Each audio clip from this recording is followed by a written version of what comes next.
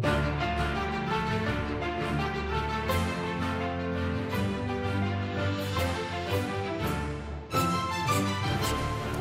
Godzina 17.30 to jest punkt widzenia na antenie Polsat News. Ja się nazywam Grzegorz Jankowski. Witam Państwa ciepło i serdecznie. Drodzy Państwo, o czym dzisiaj? Między innymi o tym, chlać czy nie chlać. W takim sensie, czy zakazać sprzedaży alkoholu na przykład po godzinie 19, e, czy zakazać sprzedaży alkoholu na każdym rogu, w każdym możliwym miejsc, e, mieście, bo tak to się dzieje w tej chwili w Polsce.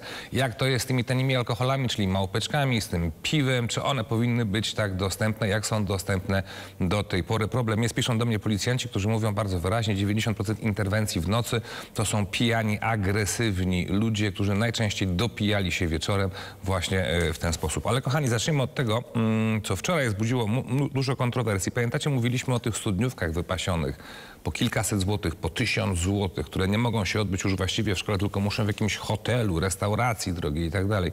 Mówiliśmy o mm, y, osiemnastkach. Wiecie, że zaczepił mnie człowiek na ulicy i powiedział, że było ostatnio na osiemnastce, na której było 300 osób. Taka bizantyjska osiemnastka, 300 osób. Te komunie święte, wypasione strasznie, jak wesela wiejskie to wszystko wygląda. A potem co? Potem domagamy się tego, żeby obniżono na przykład wymagania na egzaminie maturalnym. A potem patrzymy, jak wysoka jest niezdawalność na maturze w tej chwili. A potem martwimy się problemami psychicznymi dzieci. I wczorajsza dyskutantka pani Gajewska, która mówiła bardzo wyraźnie, tak, są problemy psychiczne dzieci, ale być może biorą się z tego, że my ich nie pilnujemy. Być może biorą się z tego, że dajemy im za dużo wolności, że je wychowujemy bezstresowo, że nie ma żadnych wymagań, żadnych granic nie zakreślamy. Powiedziała coś takiego, tak, pójdzie dziecko się upije na przykład, młodzieniec, przepraszam, 18 lat, to on już może, oczywiście, bo jest dorosły jak najbardziej. A następnego dnia makaca i mu matka wystawia zwolnienie do szkoły, bo makaca. Słuchajcie, rozsypał się worek z listami od was. E, kilka zacytuję. Panie redaktorze, z przyjemnością słucha się pana opinii. Jako nauczycielka potwierdzam w pełni słowa o demoralizacji dzieci. Demoralizacji dzieci i młodzieży przez rodziców. To pisze pani Marta. A wina jest zawsze po stronie nauczyciela. Tak to wygląda w tej chwili. Czemu niestety wtóruje kuratorium. Ubolewam nad bezstresowym wychowaniem dzieci. Kolejny list. E, Od pani Oliwki. Trochę chyba nie rozumiem, dlaczego jedna noc, ta studniówkowa, jest przez pana traktowana jako największe zło i wróg uczniów podczas nauki do matury. Te uczniowie mają 24 godziny w tygo- przez 7 dni w tygodniu siedzieć nad książkami. To w takim razie mam nadzieję, że pan jako dorosły człowiek również nie robi nic poza pracą. Kochana pani, ja mam 53 lata, trochę zapracowałem na różne rzeczy w życiu, a tu mówimy o ludziach 18-19 lat, którzy wchodzą w dorosłe życie i którzy tych granic często nie znają. I nie wiedzą, że żeby coś zdobyć w życiu, coś mieć, to potrzebny jest wysiłek, wyrzeczenie i praca. I zaczyna się od szkoły i zaczyna się od nauki. Kolejny list. Temat o szkole dobry. Niestety roszczeniowość rodziców i absurdalne wymagania wobec nic nie mogących nauczycieli to gwóźdź do trumny w edukacji. Nie może być tak, że jedna, dwie mamy, w cudzysłowie tutaj napisał ten pan Ed, mamy, żyjące życiem dziecka ustawiają całą klasę szkołę. Tak niestety znam to z autopsji. Kolejna rzecz. Studniówki, pchi. A proszę zobaczyć zakończenie ósmych klas. 500 zł wynajęta restauracja. No tego to nie wiedziałem. Ósme klasy też mają takie bale stud jak studniówki. 500 zł wynajęta restauracja. Ludzie, czy wam się poprzewracało? Nie powiem w czym. Co wy pokazujecie swoim dzieciom? 500 zł, 15-latek na imprezę? Z okazji zakończenia ósmej klasy? Samochód im kupcie może. Albo wakacje na Hawajach. Temat studniówka, przykre, ale prawdziwe. Dlaczego w ogóle te imprezy opuściły szkolne mury i weszły do restauracji i drogich knajp? To wina rodziców tylko i wyłącznie. Byłam nauczycielką w ogólniaku i wiem to i owo. To rodzice rządzą teraz, a nauczyciel ma coraz mniej wpływu na wiele rzeczy. Nawet rodzicom się nie podoba, że od ich dzieci się wymaga, że wymaga się daty na historii że wymaga się, że po co mapa z geografii i pretensje, i pielgrzymki ze skargami do dyrekcji. Nauczyciel mało zarabia, a to też obniża jego prestiż i autorytet. Pora, by studniówki wróciły do szkół i tak dalej, i tak dalej. To chyba wszystko? E, wszystko. No jeszcze było tego dużo, bardzo dużo. E, ale już nie będę wam e, e, e, więcej już tutaj zawracał głowy tym wszystkim. Dziękuję za te wszystkie listy. Kochani moi, no co o tym sądzicie? Kochane mamy, profesor Chwedoru kiedyś tutaj był, mówił o komitecie oszalałych rodziców. Czy to naprawdę wy przejęłyście rządy w szkołach w tej chwili? Czy to wy mówicie, po co daty na historiach, po co te klasówki, po co sprawdziany, po co ta nauka cała, po co to męczenie? Czy nie jest prawdą, że w domach często mówicie przy własnych dzieciach, ten nauczyciel to idiota? Nie jest tak? Nasi goście. E, Pan doktor Bartosz Rydliński z UKSW, witam pana serdecznie. Dzień dobry panie rektorze, dzień dobry państwu. I pan Artur Wróblewski, uczelnia Łazarskiego, witam pana równie ciepło. Dzień dobry. Dwaj goście, którzy prowadzą zajęcia z, e, e, z młodymi ludźmi, ze studentami, kochani moi. No właśnie, prawda jest taka, że to, to, to wszystko oszalało, to nam stanęło na głowie. Rodzice kompletnie, wielu, nie wszyscy oczywiście, bo nie wolno generalizować, pozmieniali ten wymiar szkolny, te studniówki, wypasione imprezy, domaganie się zmniejszenia wymagań na maturze. No do czego tu zmierza pan Rydliński? Zacznę od tego, że ja nie widzę nic zdrożnego w tym, żeby studniówka była wspaniałą, piękną uroczystością. Sam jako absolwent 24... Jestem dorosły, mam 19 lat i już na studniówce robię to. Fajna impreza, nie? Panie redaktorze, No fajna impreza. Gdy byłem studentem, e, przepraszam, uczniem 24 Liceum em, Ogólnokształcącego imienia Kamila Cypriana Norwida z warszawskiej Woli, e, bardzo się ucieszyliśmy, gdy dyrekcja naszej szkoły zapowiedziała, że nasza studniówka będzie w hotelu Bristol. Dla wielu uczniów i uczennic e, z warszawskiej Woli, no to było w jakimś sensie spełnienie takich, można powiedzieć, małych marzeń. Hotel Bristol, jeden z najbardziej ekskluzywnych hoteli w Warszawie, a my tam w pięknych garniturach, w pięknych sukniach tańczymy poloneza i później mamy piękną e, uroczystość, piękną zabawę. Y, Czy problem był alkohol? Był. Ile was to kosztowało Y, na hotel Bristol? Tanie nie był chyba. Pamiętamy, że była jedna chyba si- siła nabywcza pieniądza. Z tego co pamiętam, to chyba było około 250 zł w 2003 roku. To były pieniądze, ale powiem w ten sposób. Jak rozmawiałem z moimi... Zastaw się, a postaw się, tak? Ale to jest rzecz, o którą Ale panie... po co panie młody człowiek, ja jestem z Woli, z warszawskiej Woli, to jest z Bidnej Woli. Po co młody człowiek ma iść na, do drogiego, najdroższego hotelu w Warszawie na studniówce? Jaki Bo tego jest sens jako, wychowawczy? e, jako uczeń z Woli mogę powiedzieć, że dla wielu moich wolskich przyjaciół, czy e, nawet z pochodzenia ro, robotniczego, to było to pierwszy i ostatni raz w Bristolu. Więc można powiedzieć, to jest pewnie takie trochę taka opowieść bajeczna. Natomiast chciałem powiedzieć o tym alkoholu. E, My już byliśmy pełnoletni, mogliśmy legalnie wnosić alkohol, ale pamiętamy, że wtedy nasza wychowawczyni poprosiła nas, żebyśmy e, robili to z umiarem.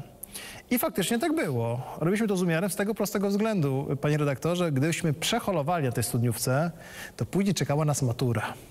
I wiedzieliśmy, że gdybyśmy naprawdę przeholowali na, na, tym, na tym wydarzeniu, no to moglibyśmy się spotkać z pewną zemstą ze strony nauczycieli, którzy jeszcze mieli w sobie taki, można powiedzieć, dość perelowski sznyt autorytetu, który my absolutnie szanowaliśmy. I moim zdaniem nie jest problemem to, że dzisiaj em, chcemy em, jakby uczniów wychowywać w, w. To jest bardzo dobrze. Było jakieś takie powiedzenie, że dzieci i ryby głosu nie mają i to jest fatalna rzecz z mojej perspektywy jako wykładowcy akademickiego. Panie rektorze, szanowni państwo, ja uczę moich studentów, a ja uczę pierwszy rok, czyli uczę za, za w takim sensie dzieci po em, liceum, uczę ich szacunku do samych siebie i do demokracji. Nie nauczymy demokratycznego społeczeństwa funkcjonować w zdrowym e, stylu, jeżeli będziemy nie respektować e, interesów i praw również nie- nieletnich.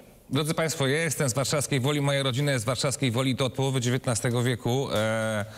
I powiem tak, nigdy mnie nie dociągnęło do Bristolu. To nie jest w ogóle tak. Ja chci- powinno ciągnąć do nauki, do szkoły. Zabawa tak, oczywiście, to jest jasne. Wiadomo, że młody człowiek się napije, wiadomo, że pójdzie gdzieś tam i tak dalej, i tak dalej. Ale nie wolno tego legalizować, nie wolno tego mówić, że to jest okej, że to jest w porządku. Bo potem, jeżeli tak mówimy w ten sposób, to potem wyrastają nam dzieci, które są roszczeniowe. Pan Wróblewski. E, Właśnie to jest dobre słowo, roszczeniowe pokolenie. E, Na przykład e, dzisiaj, w tych czasach e, są nie tylko roszczeniowi na przykład studenci, ale roszczeniowi rodzice studentów. Jak to wygląda? Potrafią przychodzić i kłócić się o, mm, mm, uzasadniać talenty wielkie swoich dzieci czy o ocenę. I e, to się zdarza, e, dlatego że jest też takie podejście, że właściwie dzisiaj wszystkiego się każdemu należy w czasach dobrobytu, dobrostanu, a jeśli nie należy, można kupić dyplom na przykład za pieniądze i pewnie można, pewnie tak jest, że na niektórych uczelniach można sobie kupić dyplom mm, za pieniądze czy coś załatwić. Y, A z czego to wynika? Wydaje mi się, że to jest naturalna sytuacja. Wynika to z pewnego dobrobytu, y, w którym się znaleźliśmy.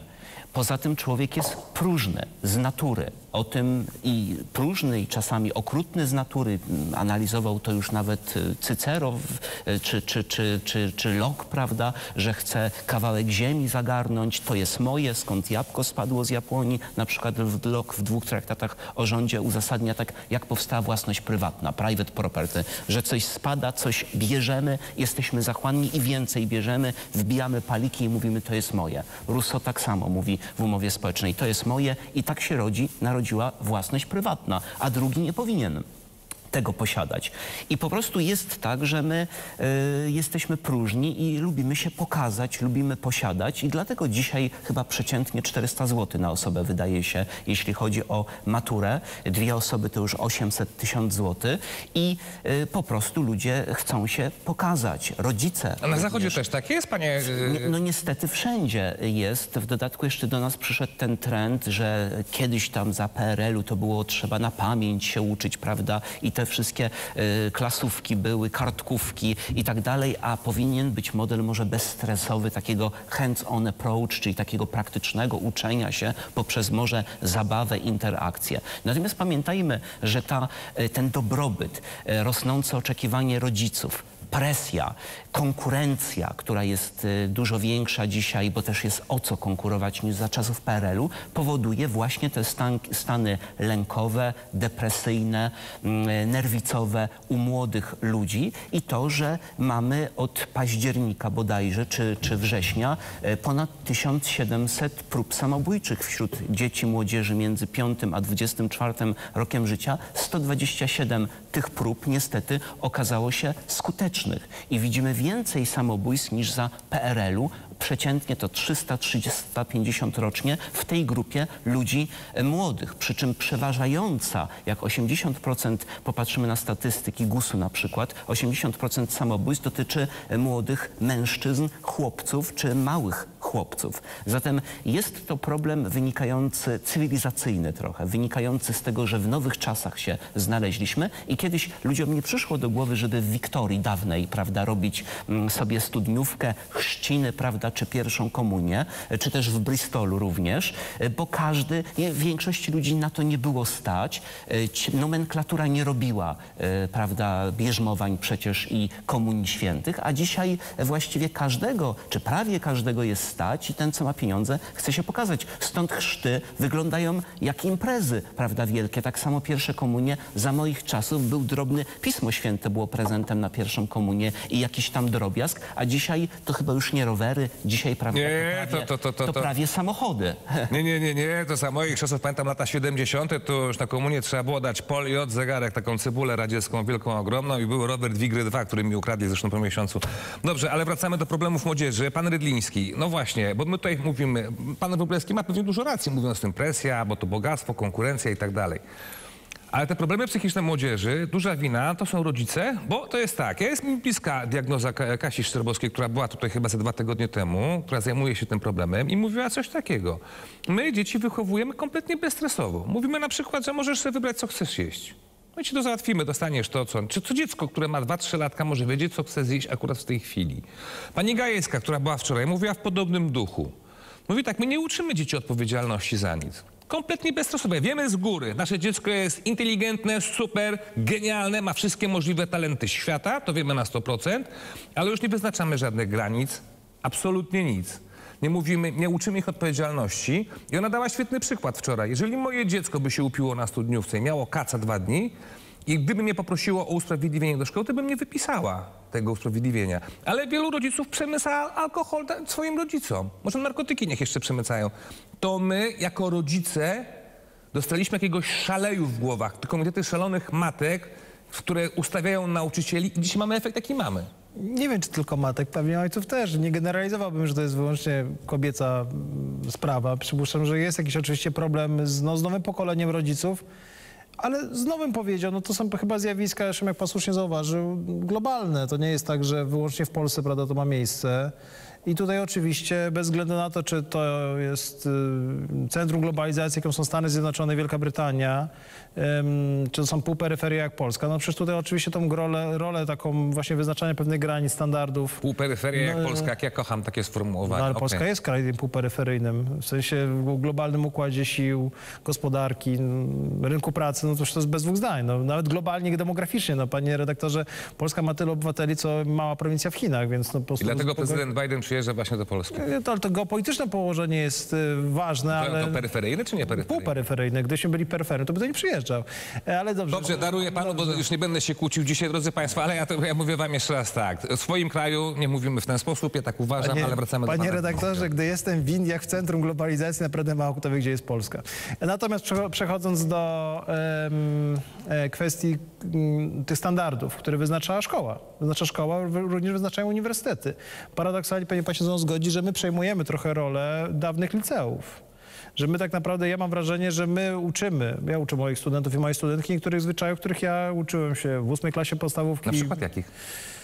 E, Dzień dobry, do widzenia, tak? no ale właśnie, czyli y, po pierwsze takiego salva vivru, e, że się nie mówi witam, albo prawda, że się nie mówi per, prawie że per ty do nauczyciela, e, tylko że jednak jest ten podział, e, można taki powiedzieć, takiej pru- pruskiej akademii, no ale też jakiejś konstrukcji zdań w korespondencji mailowej, e, pewnego, pewnej konsekwencji tego, że jeżeli na przykład studentka bądź student umawia się z danym wykonawcą na pewną rzecz, to powinien realizować. Z tego prostego względu, że jak jej nie zrealizuje, to dostanie ocenę niedostateczną. Mieli sesję poprawkową i tutaj już e, w szkolnictwie wyższym nie ma e, interwencji rodziców. Interwencje rodziców są wyłącznie wtedy, jeżeli mamy do czynienia z studentami bądź studentkami z niepełnosprawnościami. To jest jedyny moment, w którym rodzice mają jakikolwiek Chce pan wpływ. powiedzieć, że maturzyści przychodzą do was na szkoły wyższe kompletnie nieprzygotowani? W dużej mierze nieprzygotowani, nie potrafią potra- podstawowych słów grzecznościowych, nie potrafią Tak. się um, do, dotrzymać umowy i tak dalej? Tak, y, tak było, ale nie, nie, czy moim zdaniem za sprawą dwóch rzeczy. Za sprawą po pierwsze y, no, fatalnej y, sprawy z gimnazjami i liceami, uczenie się pod klucz, testy i trochę taką umiejętność wstrzelenia się w zamknięte odpowiedzi. Przez oczywiście był problem z tworzeniem zdań wielokrotnie złożonych oraz argumentacji oraz kultury wypowiedzi. Y, Natomiast drugą sprawą, i ja wiem, że pan redaktor zaś się zjeży, proszę państwa, to znaczy jak bardzo dobrze znam redaktora Jankowskiego, to jest kwestia pandemii. To jest, Nie, tam pandemia. no, widzę, widzę państwa, mówiłem, że tak będzie. Nie, dwa lata wyjęte z życia. Przepraszam, dzieci ze szkoły podstawowej, pandemia, tak rozumiem, bo małe dziecko musi mieć kontakt z nauczycielem w klasie po szkole Ale ludzie się socjalizują, ludzie Lice- socjalizują, potrzebują innych ludzi, po prostu jesteśmy zwierzętami społecznymi. W liceum młody człowiek, który ma 16, 17, 18 lat, ma książki, potrafi zdobywać wiedzę i potrafi tę wiedzę Ale, e, e, e, ale chce się zakochiwać, chce mieć przyjaźnie, chce mieć kłótnie, prawda? No jak można to mieć w czterech Co ma to ścianach? się w związku z nauką?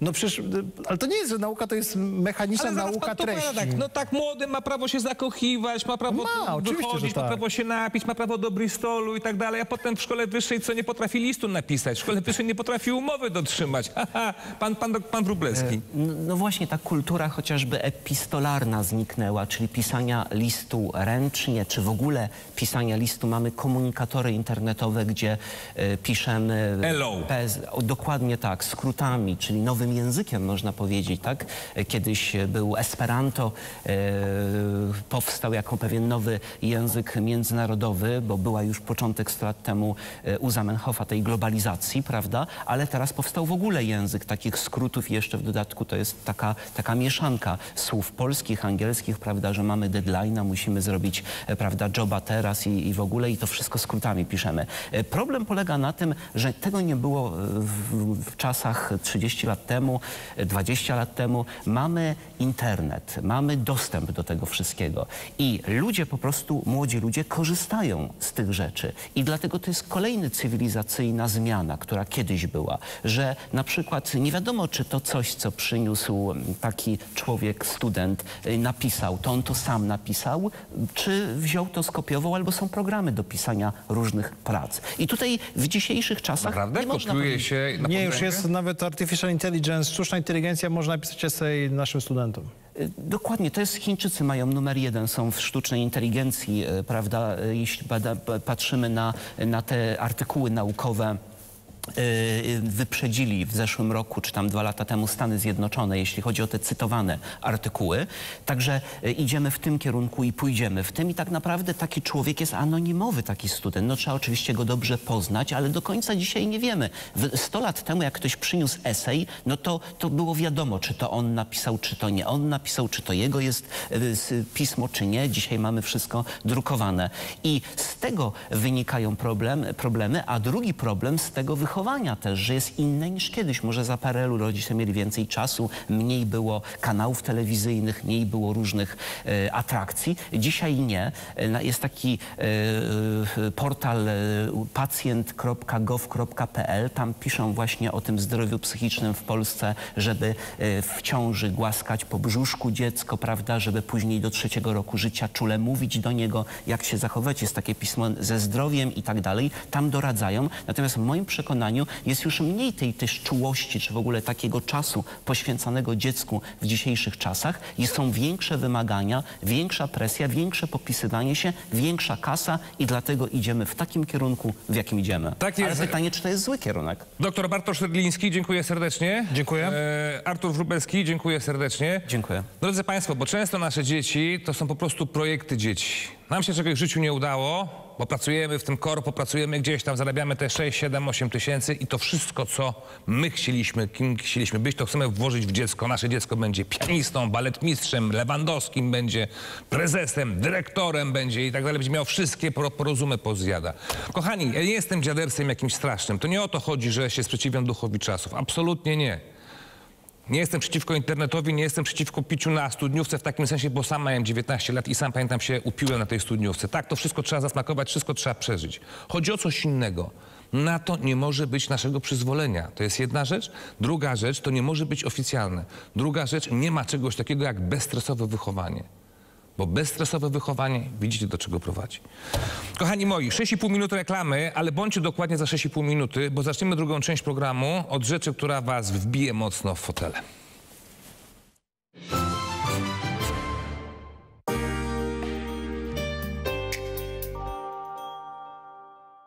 Projekt i remont Twojej kuchni, łazienki, a może garderoby? W OBI cały remont zrobisz w dobrych, niskich cenach.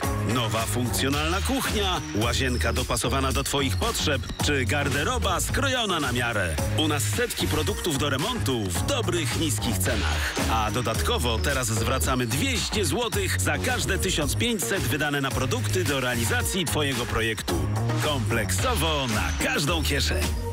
Zrobisz to z OBI. Jak podłoga, to w Castoramie. U nas dostaniesz aż 20% rabatu na podłogi drewniane, panele laminowane i winylowe. Wybieraj z szerokiej gamy produktów, nawet tych wodoodpornych. Skorzystaj z 20% rabatu od środy do poniedziałku w sklepach stacjonarnych Castorama. Lubisz ruch? Dbaj o stawy z Forflex i zachowaj swobodę ruchu. Forflex to jedyny preparat na rynku zawierający kolagen Fortigel, który wchłania się aż w 95% i gromadzi głównie w tkance chrzęstnej. Forflex. Ciesz się ruchem, ciesz się życiem. Wiem! Wszyscy są porówko sierce. Jest ostatnia paróweczka. Hmm. Trudno się oprzeć. Tarczyński naturalnie. Jak gotować z przyjemnością? Wystarczy wedlowska czekolada. Otwierasz, podjadasz, dodajesz, mieszasz, czekasz, znów podjadasz i gotowe. Wedel. Czas na przyjemność w kuchni.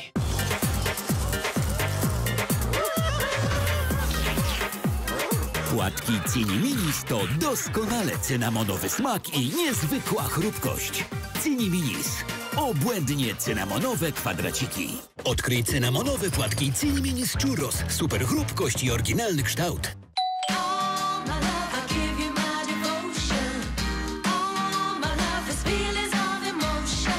Spróbuj legendarnych, rozgrzewających serów w nowej odsłonie z serowym makaroni. Tylko w KFC. Mówią na to efekt Dominos. Posmakujesz go, to musisz posmakować też świeżej pizzy z ulubionymi dodatkami i ciągnącym się serem. I na jednym kawałku nigdy się nie kończy. Tak działa efekt Dominos. Mrowienie, drętwienie, pieczenie, zmienione czucie w obrębie kończyn. Wysoki poziom cukru we krwi może uszkadzać komórki nerwowe. Nowa formuła Mielogard Gliko przyczynia się do prawidłowego funkcjonowania układu nerwowego oraz utrzymania prawidłowego poziomu glukozy we krwi. Mielogard Gliko to połączona formuła zawierająca urydynę, cytydynę, chrom i kwas alfa-liponowy. Zadbaj o swój układ nerwowy i poziom cukru we krwi z nowym preparatem Mielogard Gliko. Rzeczy przejęły Twój dom? Odkryj sprytne produkty IKEA, z którymi wszystko Ci się ułoży.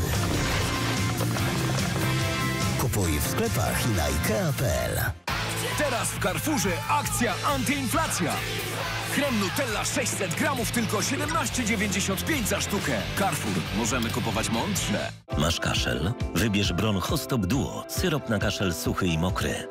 Kaszel Stop z Bronchostop. Przed użyciem zapoznaj się z treścią ulotki dołączonej do opakowania bądź skonsultuj się z lekarzem lub farmaceutą, gdyż każdy lek niewłaściwie stosowany zagraża Twojemu życiu lub zdrowiu.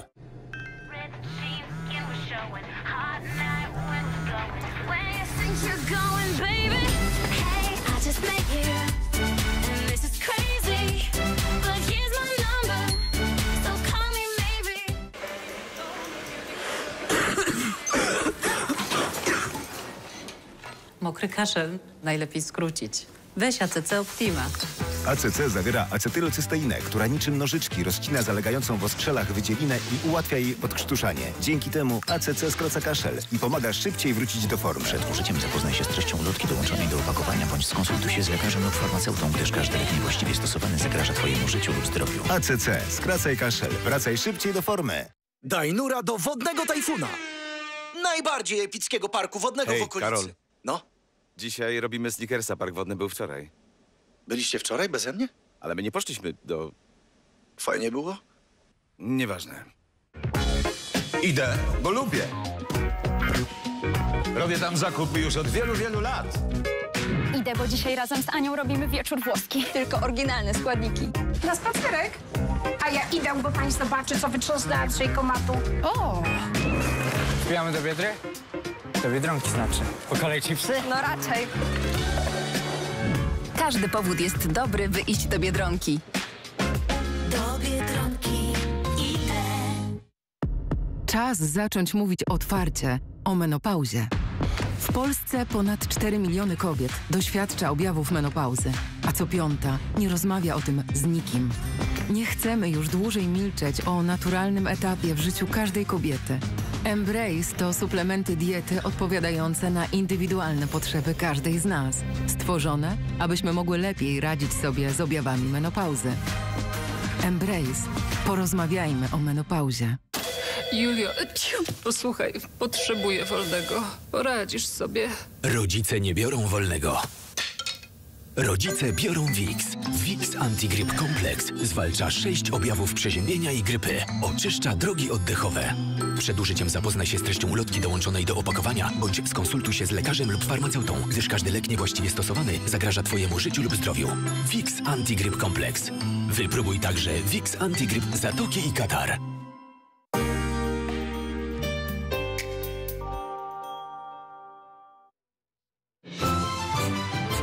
I punktu widzenia część druga. Obiecałem wam, drodzy widzowie, Grzegorz Jankowski, kłaniam się niziutko. Obiecałem wam coś, co was bije w fotel. To słuchajcie, fakt.pl, gazeta Dziennik Fakt.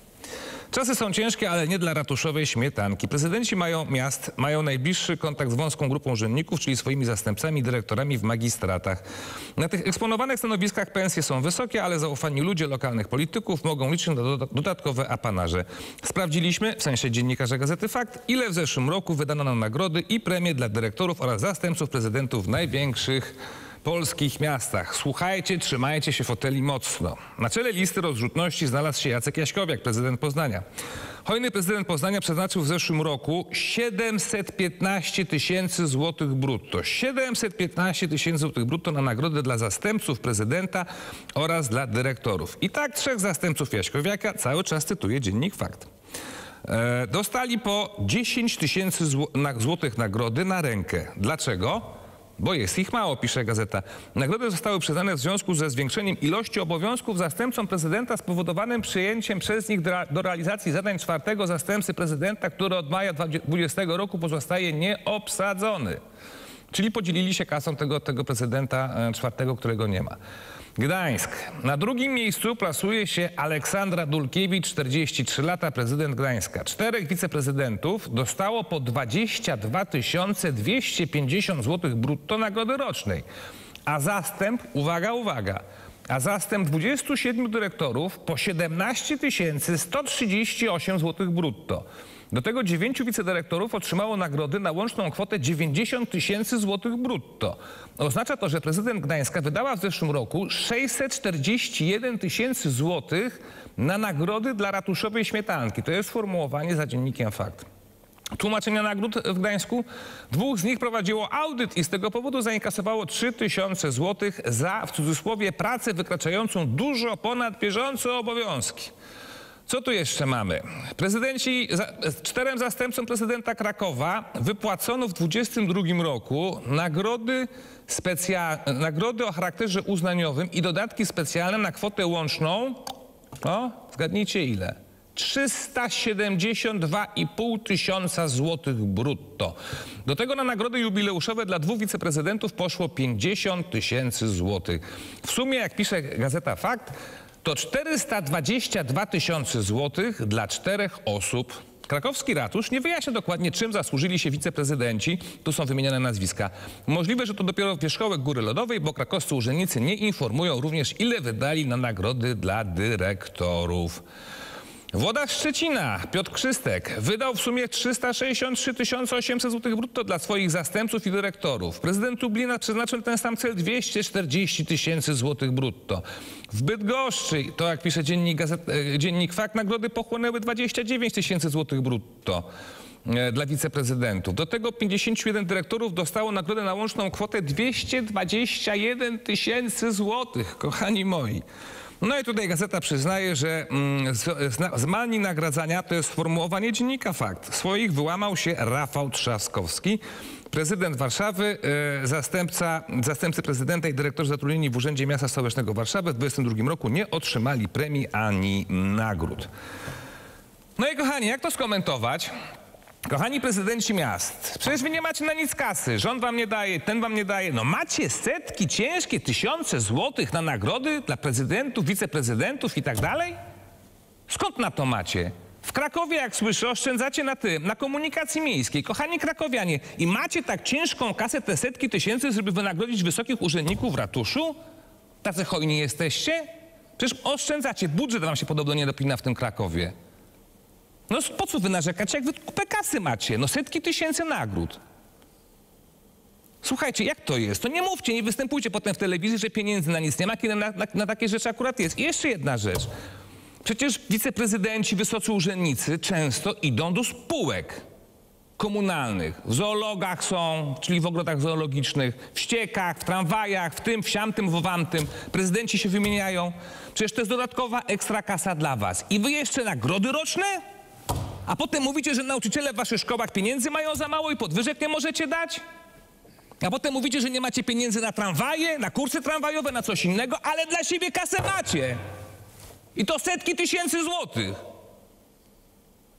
Ja wiem, że to jest wszystko legalne, ale w czasach inflacji, w czasach wojny tak nie wolno po prostu.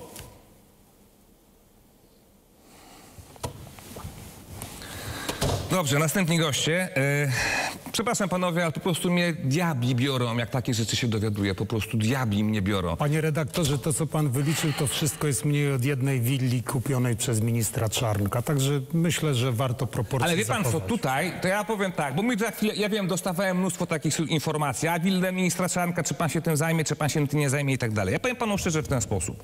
Za chwilę przedstawię naszych gości. To jest tak, to, jest, to są organizacje często pozarządowe. Od prawa do lewa. Takie, siakie i owakie. I te często organizacje pozarządowe biorą kasę, nomen omen, od rządów. I na tym rynku jest ogromna rywalizacja o tę kasę. Więc ja w tego rodzaju rzeczy nie wchodzę, bo ja tutaj tego nie rozstrzygnę. Tu ja widzę jasno i wyraźnie. Dostał 20 parę tysięcy złotych wiceprezydent, często idzie do innej spółki, zarabia tam jeszcze kasę jeszcze biorą kasę z e, podatników w ramach nagrody. Legalne, wszystko, oczywiste, ale to jest tak jawne nie w porządku, że to się w głowie nie mieści. I mówię, o organizacjach pozarządowych tu nie wchodzę, bo tutaj kija w mrowisko po- włożyć nie potrafi. Dobrze, pan Krzysztof Brzuska, były szef byłej Państwowej Agencji Rozwiązywania Problemów e, Alkoholowych. Witam pana serdecznie. Dzień dobry, witam. Oraz pan Bartłomiej Morzycki, dyrektor generalny Związku Pracodawców Przemysłu Piwowarskiego Browary Polskie. Witam pana serdecznie. Dobry wieczór panu. Kochani moi, no o czym rozmawiamy? Oczywiście o tym, o dopijaniu się. Miałem kilka dni temu list od jednego z policjantów, który powiedział coś takiego. 90% interwencji nocnych to są interwencje z pijanymi ludźmi. Eee, to jest ogromna agresja, to są pijani. I on sugerował coś takiego, i wielu innych ludzi sugeruje coś takiego. Gdyby piwo, gdyby woda nie były tak łatwo dostępne po godzinie 19, gdyby nie były tak łatwo do, do kupienia na każdym rogu, liczba interwencji, liczba przemocy, liczba przestępstw, wykroczeń na pewno by spadła. Sami to wiemy, sami to czujemy. I co na to przedstawiciel piwa? Y, Szanowni Państwo, no, y, oczywiście z punktu widzenia takiego policjanta, który pracuje w, w, w terenie i spotyka się z tymi sytuacjami, no to y, nie dziwi mnie, że formułuje takie opinie. Natomiast nie- pozwólmy też stworzyć takiego obrazu Polski rozpitej, Polaka pijaka, bo przecież grupa, o której mówimy, osób, które alkohol nadużywają, które mają z tym problem, które też reagują agresją po wypiciu alkoholu, to jest mimo wszystko bardzo wąska grupa, do której oczywiście trzeba testować y, konkretne działania państwa, konkretne działania służb, natomiast y, ogromna większość naszego społeczeństwa to są albo abstynenci, albo osoby, które piją umiarkowanie okazjonalnie. Widział pan bulwary w Warszawie I- latem? Tak, oczywiście. Też tam, tam też tam, też tam, też tam nieraz jestem, ale spójrzmy na, na duże liczby i porównajmy to do y, danych Unii Europejskiej. Polska ze swoją konsumpcją alkoholu pracuje gdzieś mniej więcej w połowie stawki, może trochę powyżej średniej unijnej. Tak, także mamy taki sam, taką samą konsumpcję alkoholu co Hiszpanie, co Niemcy, trochę niższą niż Francuzi. W Polsce 70 ponad procent y, osób dorosłych które konsumują alkohol, to są osoby, które piją poniżej 6 litrów czystego alkoholu rocznie, czyli nie jest to spożycie ani nadmierne, ani ryzykowne, ani też powodujące jakieś e, duże szkody zdrowotne. Ta grupa, która pije ryzykownie, która pije nadmiernie, to jest około 10-11%. Wśród nich są również, jest ta klientela tego policjanta z Poznania, którego, o którym pan właśnie Ale ja się z panem powiedział. nie zgadzam, ale się na razie zamykam. A pan Brzuska. Ale ja się z panem zgadzam, bo pan dał dowód na to, że te sklepy po godzinie 19 nikomu, kto nie, wy, nie będzie mm, później zachowywał się agresywnie, czy nie będzie e, zachowywał się głośno, te sklepy nikomu poza takimi osobami nie są potrzebne. Nieprawda. No bo kto kupuje, no nie przekona mnie pan, że, przepraszam, nie przekona mnie pan, że wracając z pracy o godzinie 19, 20, moim pierwsz, moją pierwszą myślą jest pójść do sklepu i kupić alkohol. No na miły Bóg, to nie na tym polega, więc chodzi tak naprawdę o ten hałas, o to bezpieczeństwo, o to y, y, również o służby. Chodzi o tę, nie, wcale nie wąską, bo y, nadużywa w Polsce alkoholu około 20%. Chodzi o tę grupę osób, które naprawdę nie muszą, bo jeśli chodzi o alkohol, nie każdy musi, poza ciężko uzależnionymi, pić tu, teraz, w każdej chwili. Ten alkohol nie może być tak dostępny, jak jest. Nie ludzie, powinien być. lu- ludzie długo pracują, wracają z pracy do domów. 19 to jest bardzo wczesna godzina. Naprawdę, y, kiedyś pamiętam, może Nie, ja mało pamiętam, poza ale, dużymi miastami, ale, ale my- my 13 robiliśmy- była, była 13 Ja panu i to też w było, sposób. y, było, było wyśmiewane i W obchodzone. telewizjach robimy badania, ludzie wracają do domu mniej więcej, poza dużymi miastami oczywiście, to są godziny mniej więcej 15-16 już są w domu. Ja panu powiem w ten sposób, z tą godziną 19. Moje doświadczenie, doświadczenie tych policjantów, którzy do mnie piszą, jest, mówi coś takiego. Możliwość kupna taniego alkoholu, taniego piwa, taniej małpeczki czy taniego wina w sklepie po godzinie 19, który jest na każdym rogu, powoduje, że ludzie wychodzą często z imprez, często nie z imprez, po prostu się dopijają i stają się agresywni. Ja widzę na bulwarach warszawskich, tam niedaleko jest stacja benzynowa, która jest de facto sklepem monopolowym. Tam kupuje młodzież, nie młodzież. Oni idą na bulwary warszawskie, które są jedne w lepszym miejscu są lepsze, w innym miejscu są gorsze, gdzie jest masowe chlanie, tłuczenie butelek, gdzie tam są burdy często. No, no wiem, bo chodzę tamtędy, czasami widuję, jak to wygląda. Są miejsca, gdzie jest spokojnie, a są miejsca, gdzie jest po prostu niebezpiecznie. I to wszystko jest podlane sosem taniego piwa, niezwykle taniego piwa, niezwykle taniej wody. A co znaczy taniego? Taniego, takie, że, piwa, stać, bo- że, że każdego bo, młodego y, człowieka stać na właściwie na nieograniczoną liczbę butelek no, piwa. No nie, to że nie, nie, nie ograniczono, bo panie redaktorze, jednak jak spojrzymy na, no. e, na inflację i na to, co się dzieje na rynku, to jednak ta cena alkoholu zdecydowanie rośnie. Notabene to też jest powód, dlaczego, to jest- to też jest powód y, dlatego, dlaczego y, akurat rynek piwa od kilku lat spada, tak? bo właśnie rosną ceny, y, maleje dostępność y, ekonomiczna, ludzie płacą większe kredyty, płacą więcej w sklepach na produkty pierwszej potrzeby, więc nie ma pieniędzy na używki, mają mniej pieniędzy na to, żeby wyjść sobie do lokalu, y, gdzie piwo już kosztuje 15 zł i więcej. Y, Także tutaj dotykamy różnych problemów. Natomiast ja jestem zasadniczo przeciwny takim rozwiązaniom, które próbują rozwiązać pro, problem pewnej wąskiej grupy y, społecznej, ograniczając swobodę funkcjonowania wszystkich pozostałych. Tak? I osób, które normalnie pracują, normalnie żyją, mają prawo do tego, żeby napić się czasem piwa, napić się czasem innego alkoholu i tak naprawdę Ale te ten, działania normalnie nie żyje, będą normalnie pracuje, to on sobie kupi piwinko na cały tydzień, buteleczkę, dwie przy zakupach tygodniowych, albo zaopatrzy się wcześniej. Ten, który się awanturuje, zrobi to samo. Nie, tu chodzi o to, żeby ten po 19 awanturujący się miał na podorędziu, miał do dyspozycji kolejną butelkę na doćpanie się. Mamy od kilku lat ustawę, która pozwala samorządom ograniczać sprzedaż alkoholu w godzinach nocnych. Część samorządów korzysta z, tego, y, z tej możliwości i to jest rozwiązanie, które potrafi, dzięki któremu można rozwiązać lokalny problem, y, właśnie burt, czy też, y, nie wiem, turystów y, nawet- głośnych. I pan Brzuska. I, Ja i, nawet nie chcę- jeszcze ostatnie zdanie. Spróbujmy ocenić funkcjonowanie tej ustawy, jaki ma skutek, zanim zaczniemy formułować dalej idące postulaty. Ja nawet nie chcę podejrzewać, w jaki sposób ta ustawa zmieniła swój kształt od czasu, kiedy rozmawiałem z Unią Metropolii Polskich właśnie po to, ażeby y, w całej Polsce wszystkie sklepy, nie mówię o pubach, o restauracjach, gdzie pan powiedział, że piwo kosztuje 15 zł. Tak, ale w sklepie kosztuje 2,50. O, to też już nieaktualne. za chwilę powiem, dlaczego aktualne. W związku z tym, wtedy, kiedy rozmawialiśmy o tym kształcie ustawy, z, zresztą z panem Szynkowskim, Welsenkiem, zinkryminowanego tutaj wcześniej y, Poznania, kiedy tam był radnym, miał być to zakaz ogólnopolski. Niestety w momencie, kiedy projekt wszedł do Sejmu, podpisany przez 15 posłów y, PiSu, miał już kształt inny. Oddajemy to samorządom. Wielkim gestem, wielką łaską. Co się wydarzyło? No, dokładnie to samo, co z liczbą punktów sprzedaży. Niestety, i to mówię jako były samorządowiec z dużym bólem, samorządy pod tym względem nie zdały egzaminu. Natomiast wracając do ceny, o której pan mówi, to przecież to jest wasz raport, raport browarów, mówiący o tym, że sklepy małoformatowe, 27% ich obrotów to jest piwo. W miejscu, w którym pojawi się e, sklep e, sieciowy, jakaś duża sieciówka, zamykają się małe sklepy. I to jest jedyna przyczyna, dla której maleje liczba punktów sprzedaży. Bo to właśnie te sieciówki stać na, y, y, stać na promocję pod tytułem kup 6, dostaniesz 6 za darmo.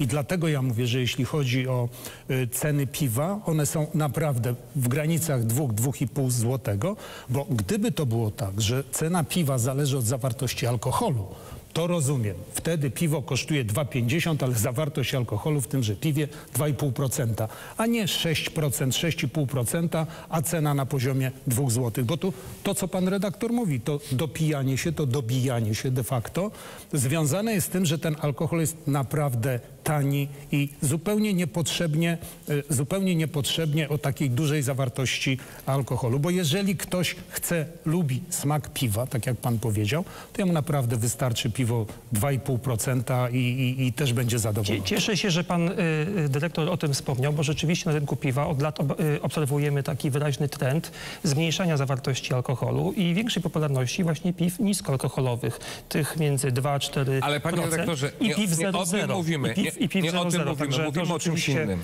Mówimy a o piwa powyżej 6% to już jest Piwo, margines rynku. wino i wódka to nie są normalne, zwykłe towary jak makaron, jabłka czy ziemniaki. To są towary, które powodują, że ludzie wielu głupieje, niektórzy nawet ma, mają potworne agresje. To, jest, to są towary, które uzależniają. Tymczasem wchodzimy do każdego polskiego pierwszego lepszego sklepu i stoisko alkoholowe to jest stoisko główne, to jest stoisko numer jeden z ogromnym wyborem piwa, wina, wódki i tak dalej. Czy pana jako człowieka, jako być może ojca, nie wiem czy pan ma dzieci, nie denerwuje to, że to jest aż 27% obrotu, to jest właśnie piwo, że polski handel stoi alkoholem w dużej mierze, że te sklepy, które trzymamy te biedne kobiety, ekspedientki do godziny 22, żeby w dużej części, nie mówię, że wszystkich, obsługiwały tych, którzy przychodzą. Pan dobrze wie, jak wyglądają ulice Warszawy. Przynajmniej ja wiem, jak to wygląda. Ja mieszkam w centrum. To ulice Warszawy, szczególnie w weekendy, wyglądają w ten sposób. Wie pan co, gdzie jest sklep określonej marki, tu pada nazwa, bo on jeszcze do 23, bo tam chcemy wódkę jeszcze kupić, bo ten już pozamykany. Przecież wszyscy dobrze wiemy, że to służą te sklepy i dostępność powszechna do tego, żebyście wy zarabiali kasę, i żeby samorządy zarabiały kasę i wszyscy, którzy biorą z koncesji pieniądze i żeby sklepy zarabiały kasę. Tu nie chodzi wcale o to, żeby ktoś miał okazję wypić sobie do, dla smaku jedno piwo, tylko chodzi o to, żebyście wszyscy kosili ciężkie pieniądze. Ale to by wszyscy za to E, Pan płacimy poza wszystkim. Pan Morzycki. No ale jakie pan widzi rozwiązanie? Zamknąć te sklepy? No bo... Jak na zachodzie, jak na przykład w Skandynawii, jak jest w Kanadzie. Ale Czytam, jak- nie, ale- podsyłają informacje. Jest czynnych na całe duże miasto, czynnych jest może 4, 5, 7, 8, 10 sklepów. Sprzedajemy między 10 a godziną 19. Koniec, kropka. Młodzież nie ma do tego dostępu i mnie nikt nie przekona, że jakieś meliny się potworzą. Skandynawia jest rzeczywiście wyjątkiem na skalę europejską. Ja dużo podróżuję po Europie i raczej w większości krajów, y, większości krajów, porównujmy się do dużych krajów, tak? No, y, i, Kanada. I, i, kra, I krajów y, też, y, które mają zbliżoną chociażby strukturę handlu, no bo w Polsce rzeczywiście mamy bardzo duże rozdrobnienie sklepów. Mamy 100 tysięcy małych sklepów, notabene rzeczywiście ta liczba szybko spada, bo jest wypierana przez dyskonty. I, stąd też takie wrażenie, że tych sklepów po prostu jest, jest dużo. Natomiast ja mam takie pytanie, jeżeli byśmy chcieli te sklepy ograniczyć, to jakie kryterium pan by przyjął? Któremu przedsiębiorcy na danej ulicy powiedziałby, teraz ma pan zamknąć swój sklep? Nie, powiedziałbym w ten sposób. Na dzielnicy Śródmieście w Warszawie dajemy 5 licencji na ten, na, y, y, y, jak to się tam nazywa, tych licencji Na na, sprzedaż, na- na zezwoleń, Na, tak? tak, zezwoleń na sprzedaż alkoholu. No, Koniec, kropka. I na przykład No tak, robimy czy- to daleko od Wisły, robimy to w tym miejscu, w tym i w tym, koniec, kropka. Nie, Nie, no- potrzeba więcej. Tutaj jedynym rozwiązaniem właśnie ze względu na te sieci y, sklepów małoformatowych, no trzeba sobie uczciwie powiedzieć, że w małych miejscowościach czy w wioskach y, nie uda się zrobić, y, zapisać takiego prawa, jak y, dotyczy aptek, gdzie jedna apteka może być y, w miejscowości, która ma nie mniej niż 3000 mieszkańców i apteka od apteki nie bliżej niż 500 metrów, czyli generalnie można. Alkoholu za silne lobby póki co, alkoholu tak się ułożyć nie da. Więc trzeba liczyć się z tym, że ten alkohol będzie podstawą działania sklepów małoformatowych. Ale zamknięcie o określonych godzinach rozwiązuje problem. Liczba zezwoleń zostaje. Te sklepy, które muszą się z alkoholu utrzymać, to się utrzymają. Natomiast nie będzie tak, że w środku nocy, bo przecież to jest kwestia bezpieczeństwa, kwestia y, komfortu życia, no przecież w centrum też są ludzie, którzy normalnie chcą spać. Przemoc w okolicach sklepów to jest udowodnione, wybadane. W okolicach sklepów, gdzie łatwo, punktów, gdzie łatwo w środku nocy dostać e, alkohol, e, rośnie liczba przypadków przemocy domowej. To jest naturalne. W Wielkiej Brytanii zamykane e, sklepy, zamykane puby o godzinie pierwszej wywoływały emocje i awantury ze strony osób będących klientami, więc był taki premier, który powiedział, ok, to zamykamy o godzinie czwartej rano. Co się wydarzyło? O czwartej rano tych przypadków przestępstw, występków było dużo, dużo więcej, bo wypito więcej alkoholu. Ilość alkoholu powinna być, decyzja o ilości kupowanego alkoholu na trzeźwo do 19. Mam pytanie do pana Morzyckiego. Czy wy macie badania, które pokazują, o których godzinach Polacy kupują alkohol? Tak, na przykład one mówią? one mówią, że po godzinie 23 y, piwo stanowi poniżej 2% y, A po alkoholu. godzinie 19? Y, nie mam takiej danej. Badaliśmy 23 w związku z ustawą, tą, o której mówiliśmy No bo wcześniej. 23 zamykają się Y, ostatnie sklepy no właśnie, poza alkoholami Tak, 24. tak, bo to jest ta granica y, godziny zamknięcia sklepów, nazwijmy to normalnych i To pozostawienia dlaczego tak sprzedaży sklepów. alkoholu? Czy jest Nie, nie, no, znaczy- Jeżeli bylibyście odpowiedzialni tak do końca, tak całkowicie powiedzmy, tak spo, prospołecznie, bo rozumiem, że jesteście nastawieni na zysk, tego nie potępiam.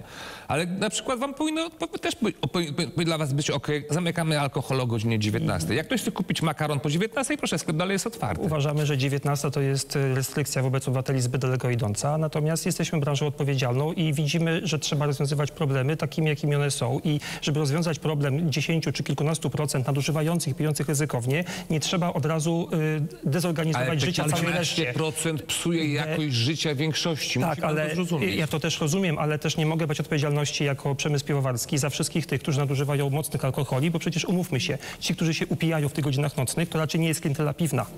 Tak, tutaj też jest możemy... klientela piwna, i wódczana, i winna. Każdy alkohol Każdy, każdy alkohol, no. tak. I dlatego my jako branża, przecież nie, nam też nie zależy na tym, żeby ludzie nadużywali, żeby się alkoholizowali. My nie jesteśmy jakąś branżą, Ale która... wam zależy na która- masowej sprzedaży, a ta masowa sprzedaż, pan zrozumie, się przekłada na te problemy, niestety. To jest, decyzja zakupowa każdego, y, każdego To nie jest dorosłego, decyzja zakupowa, który, to jest decyzja wybiera... o dobiciu się, potem agresji po biciu kogoś. To jest taka decyzja często. I pan uważa, że my to wspieramy? Nie, ja nie mówię, że ale ale po co robicie promocję na piwo na przykład? Sklepy robią promocję na piwo. Nie jesteście zwykłym producentem makaronu. Piwo uzależnia i powoduje agresję często, ale piwo To alkohol. jest typowa, typowa postawa, przepraszam, typowa pis, e, postawa Piłata. To jest, e, mija się z celem taka, taka dyskusja, ponieważ każda próba ograniczenia, tak jak cho, by, chociaż e, wprowadzenie przez Irlandczyków napisów na butelkach alkoholu uzależnia, tak jak na papierosach. Wydarzyło się coś, co moim zdaniem w Komisji Europejskiej naprawdę jest dużym wyłomem w dotychczasowej praktyce. No ale zobaczymy, co będzie z Polską, bo póki co żyjemy w kraju, w którym Ministerstwo Edukacji i Nauki na swojej stronie internetowej promuje producenta wódki. No to w takiej sytuacji moim zdaniem będzie nam dość trudno zmienić to politycznie, a bez rządu odważnego, który będzie potrafił podjąć trudne decyzje, bo to jest trudna decyzja ze względu na tę hałaśliwą mniejszość, no i oczywiście ze względu na wszechmocne lobby alkoholowe. Ale taką decyzję ktoś będzie Pan musiał Możycki jest podjąć. przedstawicielem lobby alkoholowego? Oczywiście, że tak. No jako szef Związku Pracodawców oczywiście, że tak. Na, spotykamy się na posiedzeniach komisji sejmowych. My A też- w jaki sposób to lobby działa? No to opisał swego czasu pan profesor Rybiński w takim raporcie y, mówiącym o tworzeniu prawa w Polsce i dokładnie tam były słowa wypowiedziane, w jaki sposób przemysł alkoholowy... Prawo do odpowiedzi, ostatnia minuta, pan My też, my też dostrzegamy y, patologie i problemy i jesteśmy za tym, żeby je zwalczać. Jesteśmy przemysłem, który y, prowadzi działania na rzecz odpowiedzialnej sprzedaży, czyli nie sprzedawanie alkoholu osobom y, niepełnoletnim. I widzimy, że są rzeczy złe, które się dzieją, takie jak binge drinking, to na, zjawisko, które narosło w pandemii, tak? czyli osoby, które piły ciężkie alkohole, piją Ale pan teraz mówi o więcej. działaniach, które I nie od widzimy- was zależą. To, i że wy widzimy- chcecie, i widzimy, nie znaczy, że możecie. I widzimy tego też, nie możecie zrobić. I widzimy też, panie dyrektorze, że możemy zrobić na przykład dużo w zakresie promocji alko- y, zamienników alkoholu, tak? Czyli cały sektor no low, bardzo nowy trend, y, polecam się temu przyjrzeć, no alkohol, low alkohol. W tym kierunku idzie przemysł piwowarski, nie tylko w Polsce, ale i w Europie. Czyli produkty o niższej zawartości alkoholu, a przede wszystkim piwa 00. To jest szansa dla wszystkich świadomych dorosłych konsumentów do tego, żeby Aby zamieniać sprzedaż piwa się zgadzała. i Panie dyrektor, to brzmi, aby sprzedaż się I zgadzała. będzie pan zadowolony, że przemysł piwowarski zarabia pieniądze na niesprzedawaniu alkoholu. Ja w ogóle piwa nie piję, wódki też nie piję akurat. Piję... Pana wybór.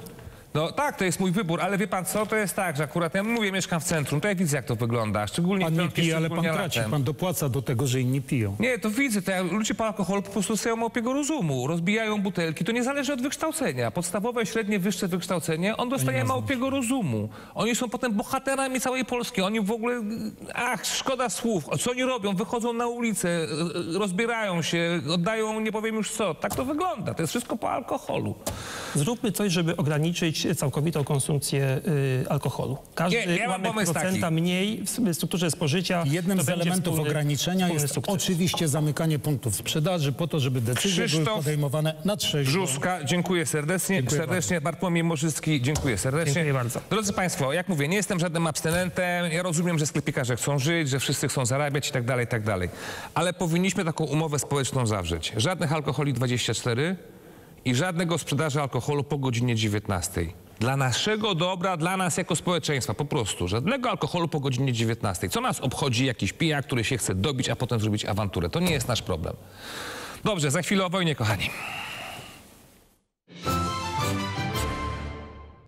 Ukraińcy potrzebują teraz każdego samolotu. E, Jeżeli chodzi o samoloty MiG-29, czy samoloty te, które Ukraińcy posiadają, Su-25, Su-27, MiG-29, na pewno potrzebują do nich części. Na pewno potrzebują e, utrzymać e, te samoloty w stanie gotowości, tak jak to było do tej pory, bo te samoloty zużywają się po prostu. E, Natomiast e, samoloty, mm, te, które były wymienione, F-16, Mirage 2000, tam się nawet Gripen pojawił, e, one dałyby nowe możliwości, dlatego że te samoloty są, to są samoloty wielozadaniowe. Wszystko zależy od oficjalnego zapytania, a nie od krążących plotek. Taka prośba nie została jeszcze sformułowana, ale gdy ją otrzymamy, to ją rozpatrzymy. Zobaczymy, co mogłoby być użyteczne i jakie ramy czasowe są konieczne. No i kochani, nie wiem, się wam podobała dyskusja. Piszcie do mnie, e, wiecie jak pisać. Tutaj słyszę tę dyskusję, była też w reżyserce. Reżyserka podobno cała była przeciwka, przeciwna temu, co ja mówię. Są przeciwni temu zakazowi. Oj, młodzi ludzie, młodzi ludzie tam na tym drugim piętrze czy na pierwszym. Kochani, teraz e, wojna. E, jest z nami pan Marek Budzisz, e, e, geoanalityk e, portalu w polityce oraz tygodnika sieci. Witam pana serdecznie. Dzień dobry. No właśnie, jak chcę od pana, za, y, może te samoloty poczekajmy z nimi na boku. Y, mniej więcej godzinę temu gościem naszego programu był profesor, y, był doktor Bartosz Rydliński. No on powiedział coś takiego o Polsce. Polska jest na półperyferiach Europy, na półperyferiach geopolityki, na półperyferiach spraw ważnych i tak dalej, i tak dalej, i tak dalej. Ja z tym takim sformułowaniem, z takim podejściem walczę. Ale pan jest znanym geopolitykiem, cenionym autorem. Jaka jest pozycja Polski w tej chwili? Proszę powiedzieć naszym widzom.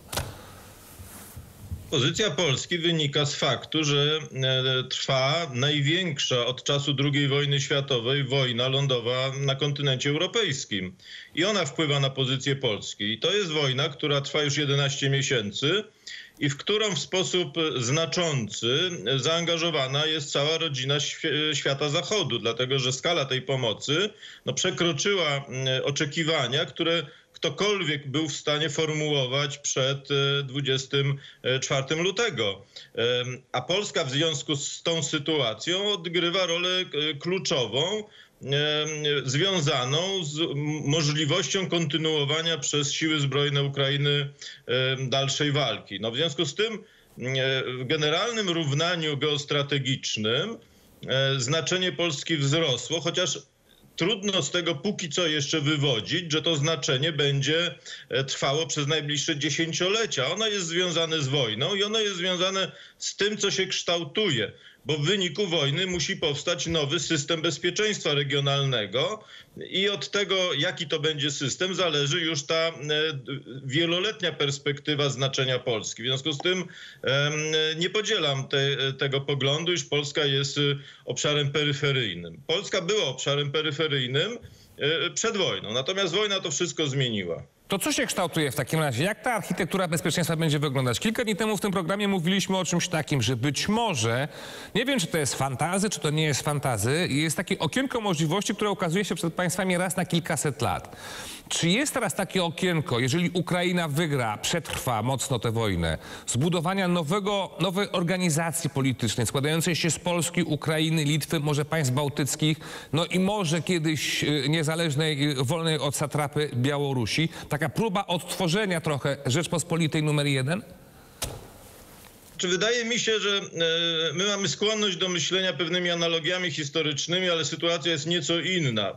W ostatnim roku miały miejsce dwa kluczowe wydarzenia. Po pierwsze to jest fakt, że Ukraina obroniła e, e, swoją niezależność, swoją niepodległość i jest w stanie skutecznie przeciwstawiać się e, Federacji Rosyjskiej. To jest znaczące wydarzenie o charakterze też politycznym i geostrategicznym. To właśnie z tego powodu wzrosła skala zaangażowania Zachodu.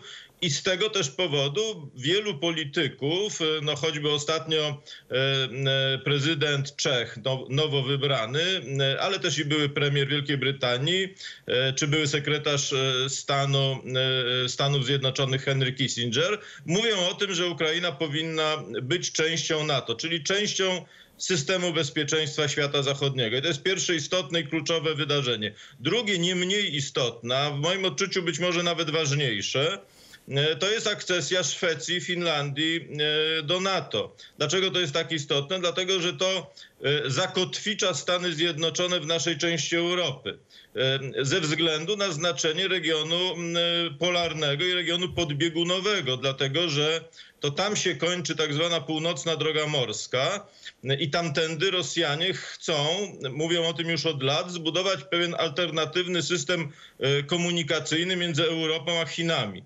A w związku z tym kontrola wyjścia tej drogi, również ze względów strategicznych, bo to jest też wyjście na przestrzeń północnego Atlantyku, tak zwany obszar GIUK, jest z punktu widzenia Stanów Zjednoczonych absolutnie kluczowe. To znaczenie bieguna północnego i tego obszaru podbiegunowego, również w związku z topieniem wiecznej zmarzliny, będzie w nadchodzących latach, będzie w nadchodzących latach rosło. Wejście Finlandii do NATO oznacza również zagrożenie, przynajmniej potencjalne, dla rosyjskich instalacji atomowych i baz wojskowych na Półwyspie Kola, dlatego że Rosjanie w ostatnich kilkunastu latach wyremontowali i odbudowali swój potencjał na, na tym obszarze z czasów, z czasów ZSRR. A, a to też oznacza, że Rosjanie będą musieli rozciągnąć swoje siły. To właśnie dlatego Szojgu zapowiedział niedawno rozbudowę armii e, rosyjskiej do poziomu półtora miliona ludzi. Czy mu się to uda, to jest osobne zagadnienie, dlatego że Rosjanie będą musieli obsadzić większymi siłami znacznie e, większy obszar od dalekiej e, północy aż po Ukrainę. A jeżeli w związku z tym będą musieli rozciągnąć swoje siły, to będą mieli duży problem z koncentracją. A koncentracja jest potrzebna na wypadek ewentualnej agresji.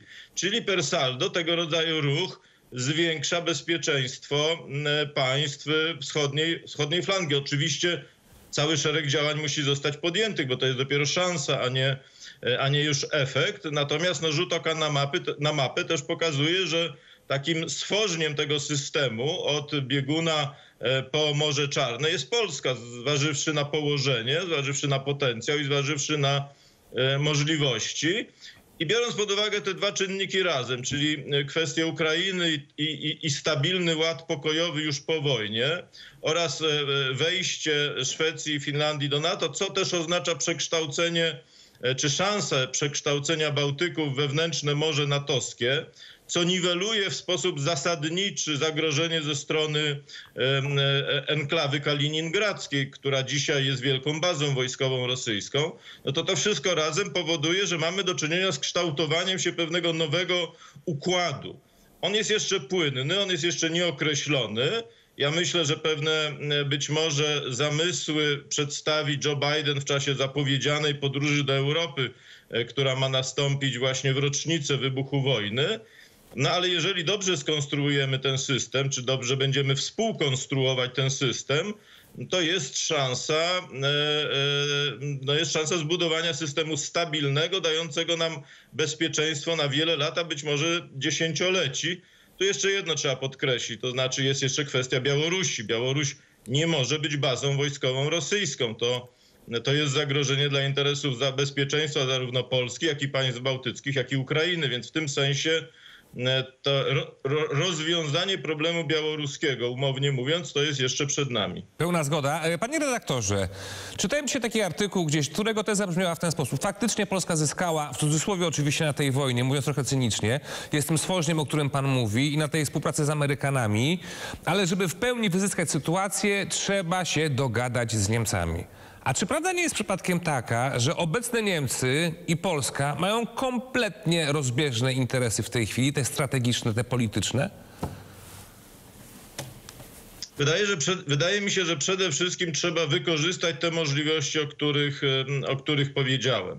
Również, i to też warto podkreślić, musimy zacząć poważnie myśleć na temat zakończenia wojny na Ukrainie, bo przedłużająca się wojna jest nie tylko e, straszliwym e, e, doświadczeniem dla narodu ukraińskiego, ale jest również niekorzystna z perspektywy Polski, bo, bo osłabia właśnie Ukrainę i tę wojnę należy zakończyć. Nie za wszelką cenę, nie za cenę ustępstw wobec Rosji, no ale należy zastąpić, tworząc wizję pewnego stabilnego systemu bezpieczeństwa powojennego.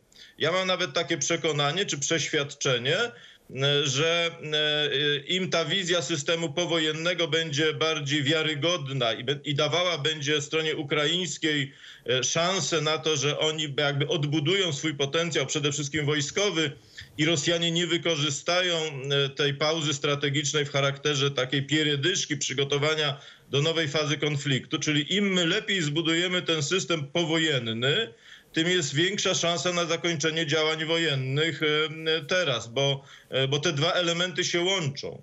E, a w związku z tym to wydaje mi się powinien być jeden z głównych obszarów naszej oraz naszych sojuszników aktywności. Stabilny system powojenny, zakończenie w związku z tym wojny. Ta wojna nie musi zakończyć się porozumieniem pokojowym, bo wojna w Korei nie zakończyła się porozumieniem pokojowym, a Korea Południowa jest państwem demokratycznym i państwem gospodarczo e, wysoko rozwiniętym. W związku z tym e, tu nie ma takiego automatyzmu, że musi być zawarte porozumienie pokojowe. Natomiast Ukraina musi być państwem silnym, również o charakterze wojskowym, no dlatego, że stanowi tą wschodnią e, ten wschodni bufor, czy tę wschodnią barierę, która oddziela świat Zachodu od agresywnej Rosji. I to jest w naszym interesie, żeby tego rodzaju rozwiązania promować i do tego dążyć. Ukraina nie będzie silna, jeżeli będzie zniszczona gospodarczo i cywilizacyjnie w wyniku przedłużających się się wojny, więc tutaj mamy pewne naczynia połączone. I jeżeli, e, proszę zwrócić uwagę, jeżeli by się udało osiągnąć porozumienie sojuszników co do kształtu systemu bezpieczeństwa w Europie Środkowej, to ta różnica interesów strategicznych, o których pan mówi, a dzisiaj dość czytelna między Polską a, a Niemcami, bo Niemcy mówią zakończmy już wojnę, a my mówimy, że Ukraina musi mieć... e, e, 20 sekund, panie, panie Marku. Mhm. to ta różnica niknie, proszę zwrócić uwagę. Jeżeli Ukraina m, ma szansę y, zakotwiczyć się w stabilnym systemie bezpieczeństwa, to przyspieszamy w ten sposób zakończenie wojny. To nasza różnica y, interesów z Niemcami, one nadal będą występowały, ale nie są już tak dolegliwe. Dziękuję panu serdecznie. Bardzo ciekawa analiza. Marek Budzisz, y, portal w polityce, tygodnik sieci. Dziękuję serdecznie, kłaniam się niziutko. Dziękuję bardzo. Kochani moi, kończymy dzisiejsze wydanie Punktu Widzenia, które przygotowali Łukasz Aftański oraz Bianka Frejlich. Dziękuję wam serdecznie. E, e, za chwilę, o już widzicie, za chwilę wydarzenia 18.50 poprowadzi je Dorota Gawrylu. Kochani moi, życząc wam ciepłego wieczoru, naprawdę myślę sobie w ten sposób. Jeszcze raz.